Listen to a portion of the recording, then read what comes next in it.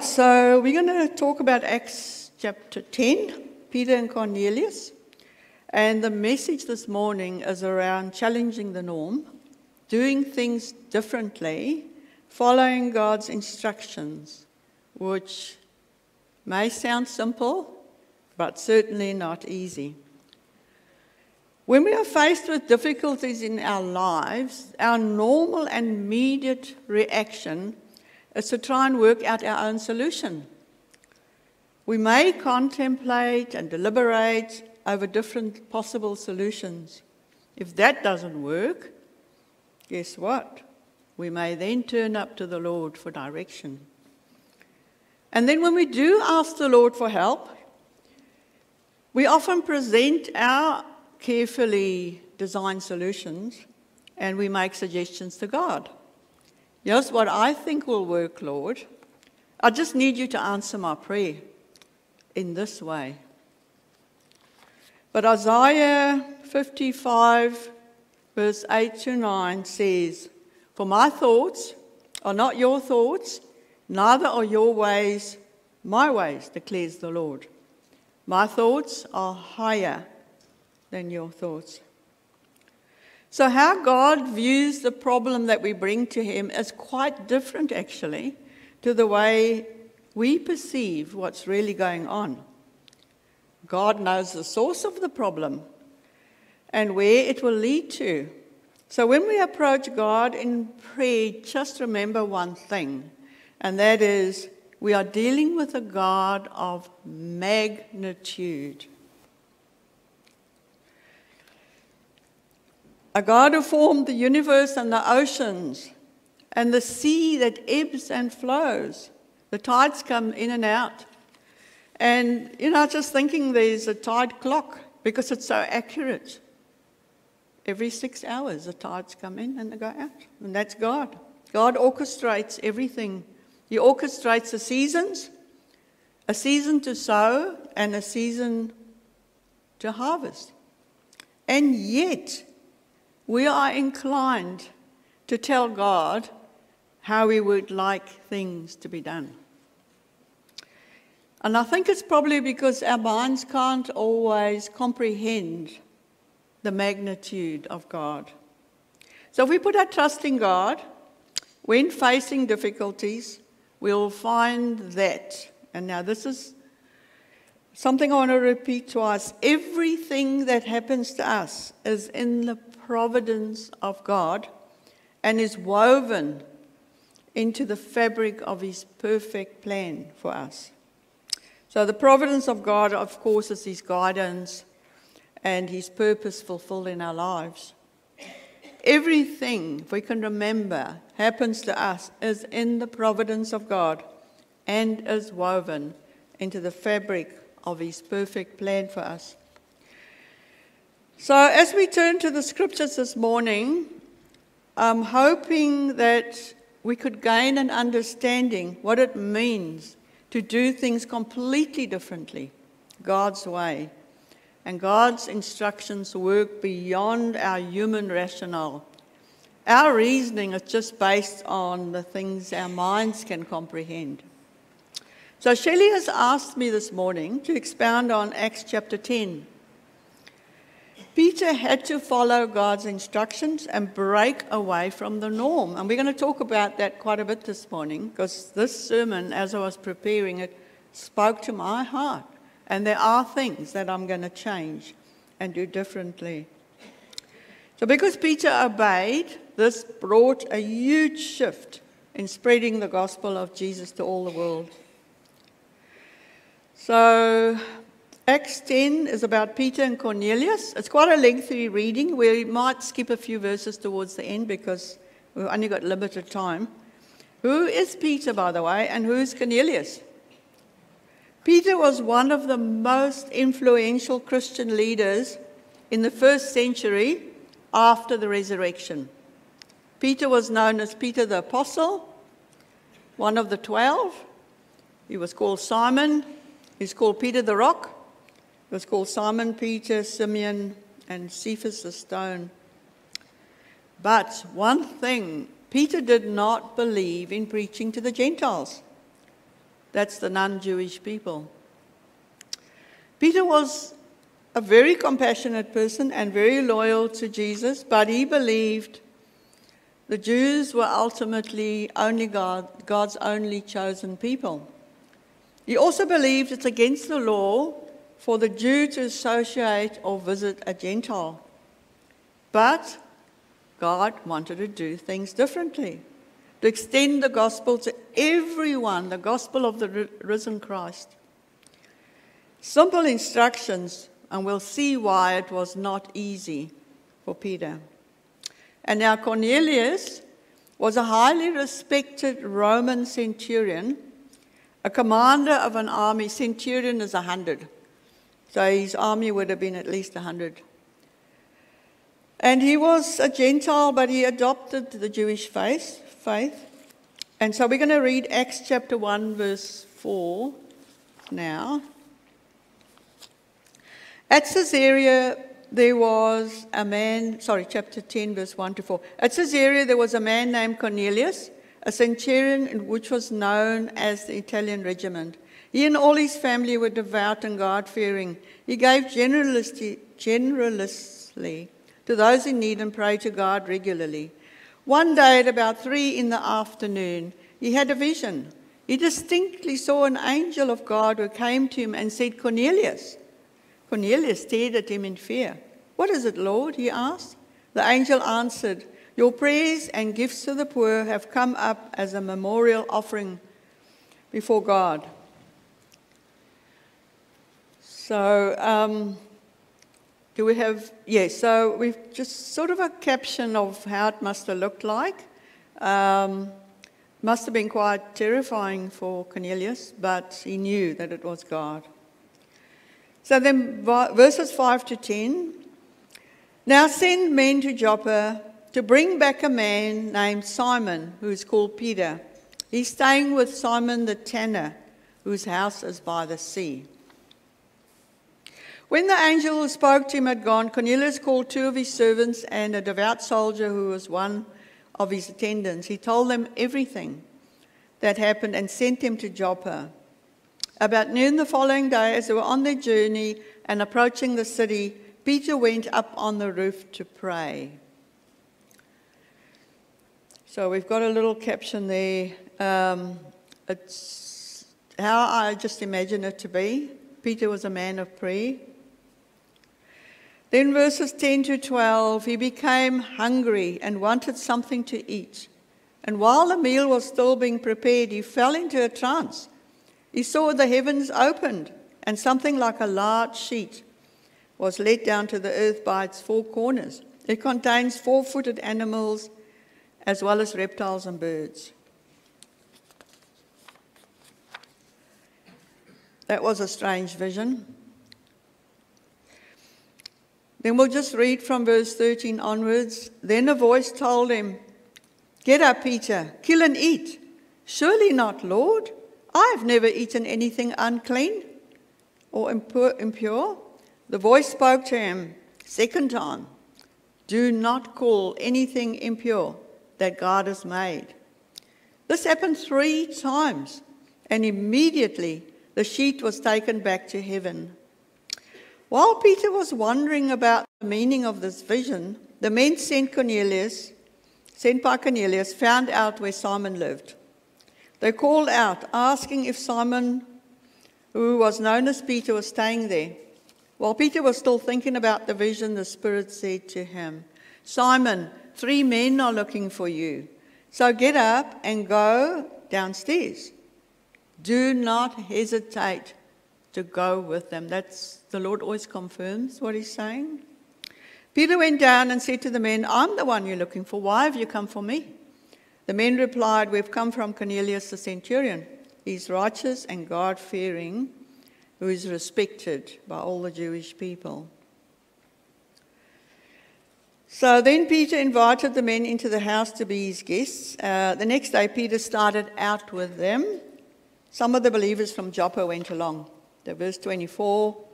The following day, he arrived at Caesarea, and Cornelius was expecting him. As Peter entered the house, Cornelius met him and fell at his feet in reverence, but Peter said, Peter made him get up. Stand up. I'm, I'm just a man myself. While talking with him, Peter went inside and found a large gathering of people. He said, You're well aware. Now listen to this.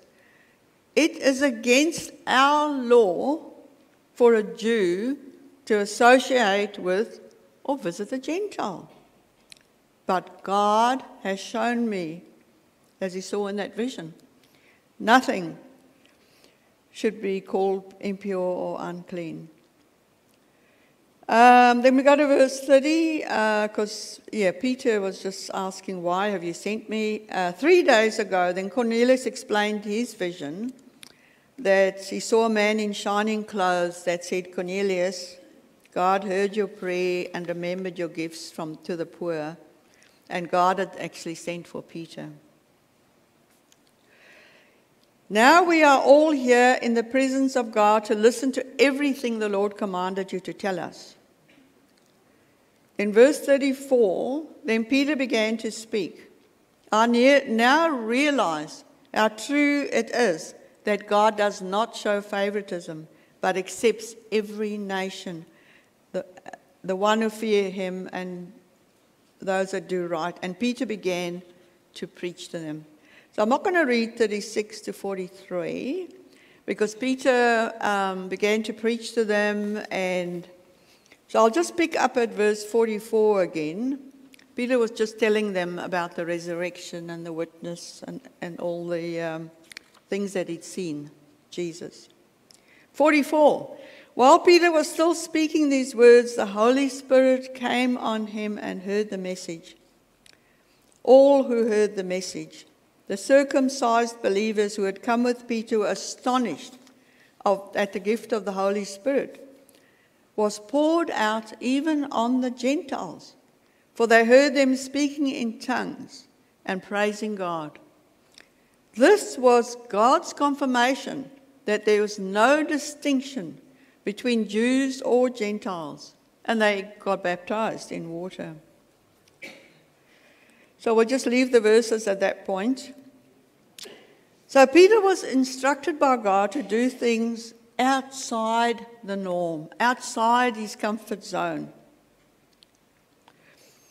Peter's cultural and religious upbringing was actually a barrier to God's plans.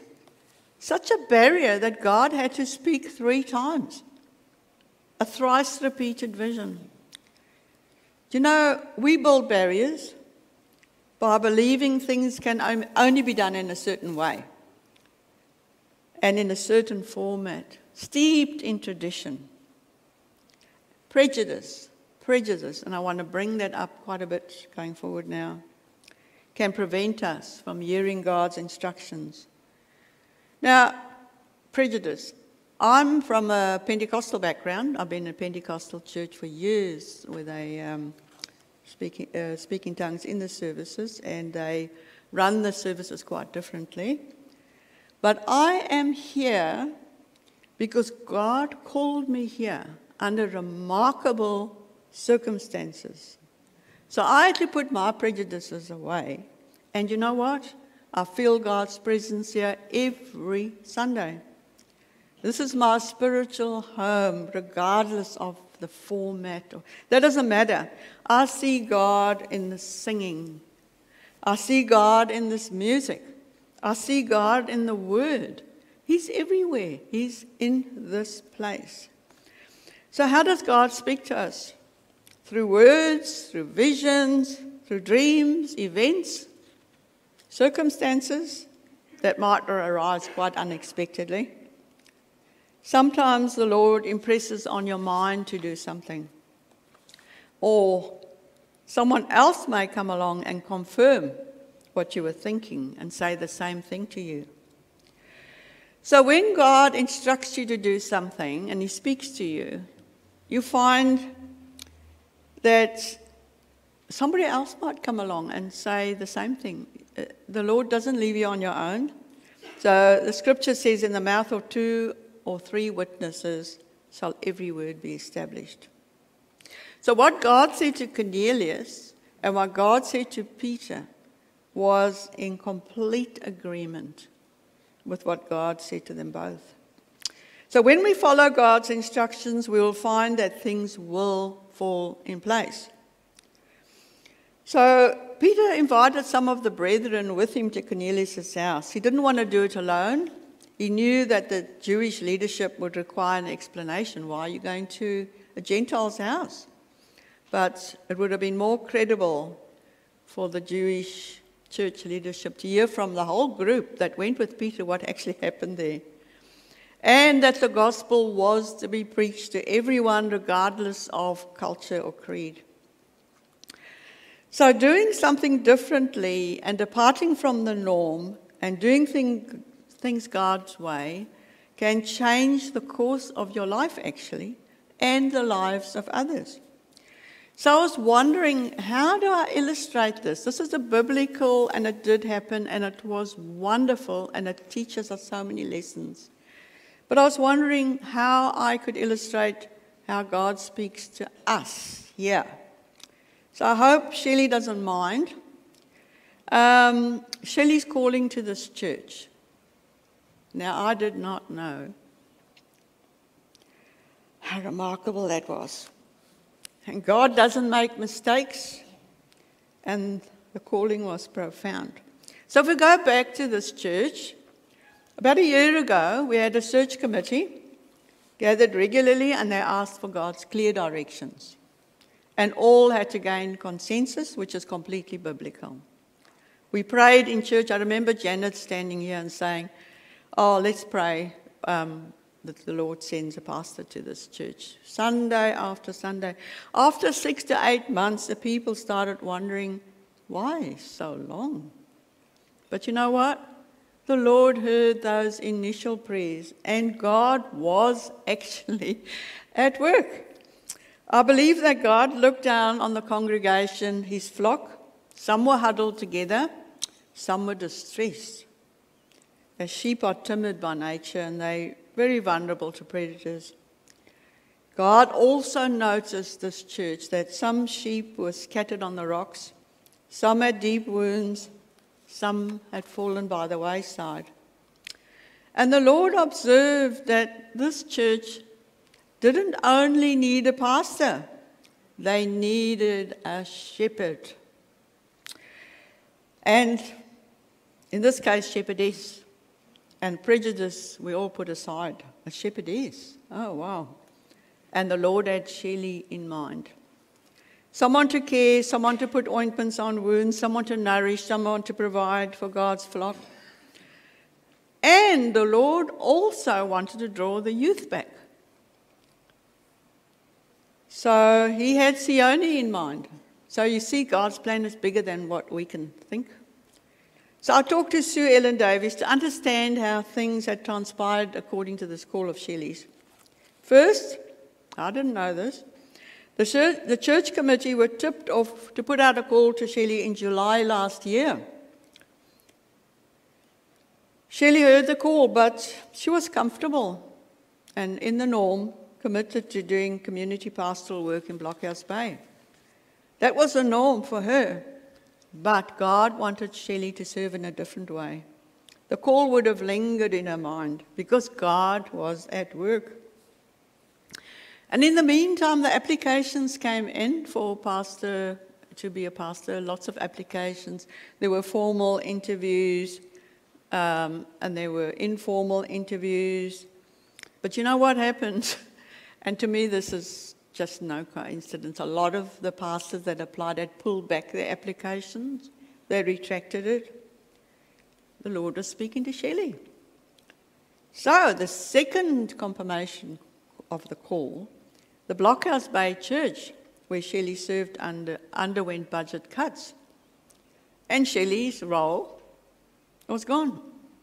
She was made redundant. Was that a coincidence? No. God was at work. The Lord wanted Shelley's service to him to be quite different to what she was doing. So the third step the Lord spoke to Shelley again. On the 28th of November last year, Shelley handed in her CV. And yeah, the, and the rest is history. But the Lord also spoke to Sioni, and a desire came over him to be near his children, and there was a job waiting for him. Above all, the Lord wanted Sioni with, to raise up the youth, provide hospitality and church and the home. And by the way, Sione is a good cook, I believe. And then God paved the way when Shelley accepted the call to the church. And it doesn't end there. This is just so amazing. They packed their belongings. They were ready to leave for Auckland. Apparently, the truck was booked uh, for the Wednesday. And this was backtrack Sunday. Now, they didn't have a house. And some people in this church, I don't want to really single out who they are, but they um, their mother died, and she left a house last year sometime, which they were going to renovate and rent out.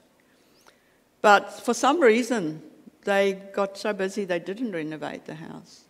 And then it came to when Shelley was due to come, they started renovating the house. And they had just a couple of days to go. So that was from May last year that house was standing empty.